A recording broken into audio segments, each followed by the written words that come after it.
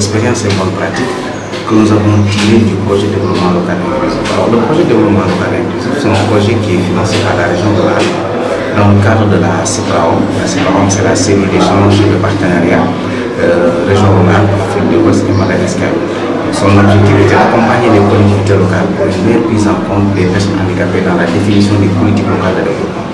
Donc nous avions aujourd'hui pour objectif de partager les expériences que nous avions tirées après trois ans de mise en œuvre acteurs-là que vous voyez sont les différents partenaires avec, et bénéficiaires avec qui nous avons, euh, disons, euh, mis en œuvre ce projet-là pendant trois ans. Donc c'est les élus locaux, c'est les services techniques, c'est les autres partenaires au développement, c'est les associations de personnes handicapées euh, elles-mêmes.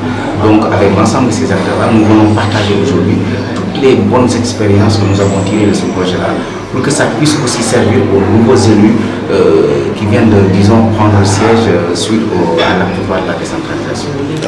Je pense que c'est une appréciation qui a été faite par les différents élus qui est à l'origine de, de l'élaboration et la mise en œuvre de ce projet de développement local inclusif. Saint-Louis, comme les autres collectivités locales du Sénégal, la question du handicap, euh, disons, est souvent laissée en rade. Euh, nous n'avons pas encore pu mettre en place une société inclusive. Ce que nous appelons une société inclusive, c'est une société qui prend en compte la personne handicapée depuis la réflexion dans la définition des politiques locales, en passant par la mise en œuvre et par l'évaluation. À Saint-Louis, je dirais que, euh, disons, nous avons euh, aujourd'hui observé une grande évolution dans la mise en œuvre, des, euh, disons, dans la prise en compte des personnes handicapées. cela recoupe le PRDI, le Programme régional de développement intégré, que Saint-Louis vient de valider et qui a pris en compte la dimension handicap.